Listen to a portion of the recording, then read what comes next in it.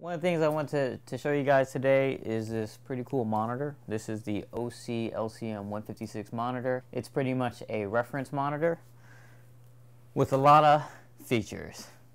The LCM 156 monitor is a 15 inch monitor, which I think is kind of like the perfect size. Uh, it's not too big, it's not too small.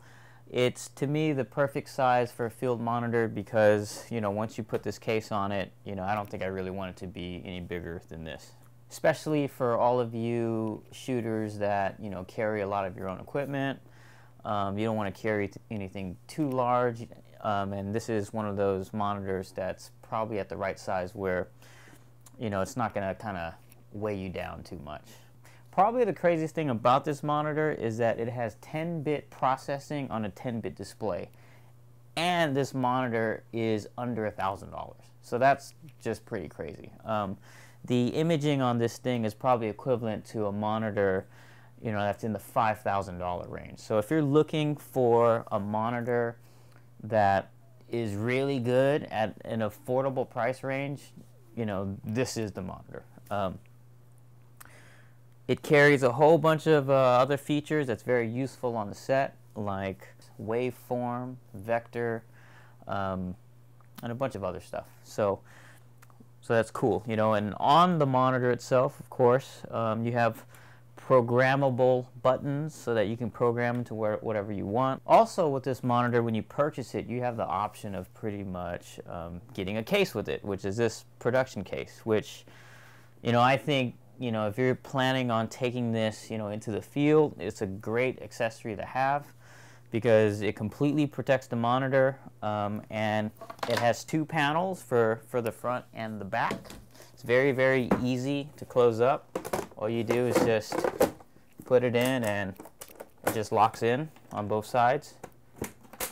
So it makes it makes packing this monitor extremely fast. Um, you know, if I wanted to jump on a, on a shoot really, really quickly, um, all I got to do is just unplug it and put the, put the uh, panels on, the front and back cover, and it's pretty much ready to go. The case is super sturdy and durable. And also, if you buy the case, what's pretty cool is that they also include the Hoodman mount. So, you know, if, for all of the shoots where you're pretty much you know outdoors, um, you know you need a field monitor. It's you know it's pretty pretty sweet that they include it and you don't have to like purchase it or whatnot. The other cool things that makes this great for a field production monitor is that um, it is this monitor is capable of mounting a VESA plate onto it. So if you want to mount this onto a C stand or a baby stand or whatnot, you know when you're on set you can do that. The other thing that's really cool about this monitor is you have the ability to power it with uh, batteries. You know, so when you're on location, you know, and you don't have access to power or whatnot, you can put a Anton Bauer or a V-mount, you know, battery plate in the back so that you can run it with one of these. So that's pretty cool, you know, and and you know, all of that for pretty much a price point of like, you know, under a thousand dollars, which is pretty phenomenal. So this monitor also has a 178 degree field of view, which is great when you have a whole bunch of people on the set that needs to look at the monitor, like, you know, a gaffer or, um, you know, makeup people, hair people, director, producers, whatever. So it's great, you know, for that. You know, you can see it in, in a wide angle. Um, let's go over the inputs on this thing, you know, which is the back. And on the back here, you have your HDMI in, and you have two channels of HD SDI in and out, which is great. So there's a whole bunch of inputs. Um, you have um, composite. You, uh, there's a headphone jack for the director if you're sending anything in here. So you know, it's great so that, you know, if this is mounted on a C-stand or something like that and a director is looking at this, you can plug the headphones into this monitor and they can hear it if you're, you know, feeding the audio into here. Um,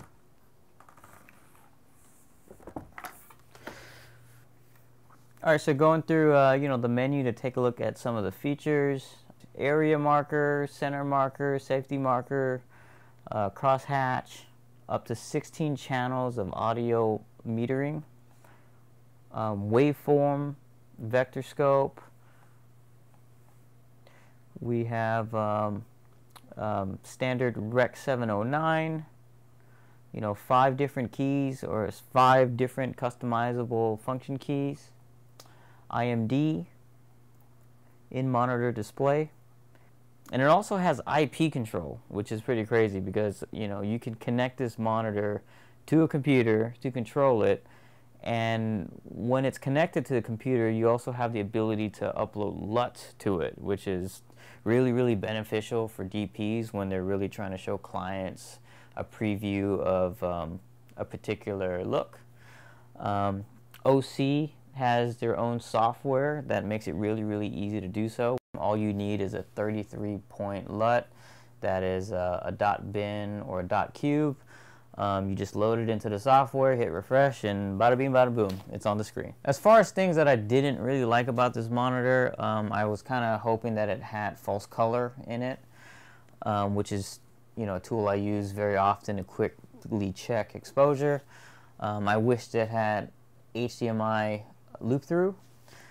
But, you know, at the price point, you know, it's already loaded with so many features that, you know, I can't really complain. Um, but, you know, for the price point and what you're getting, it's, you know, it's, there's so much bang for your buck that I, you know, I recommend pretty much anyone that needs a very portable, affordable monitor, you know, in their kit, you know, this is the monitor, you know, that you should go for. So, you know, I'll put a link in the description so that you can check it out and, you know, good luck shooting.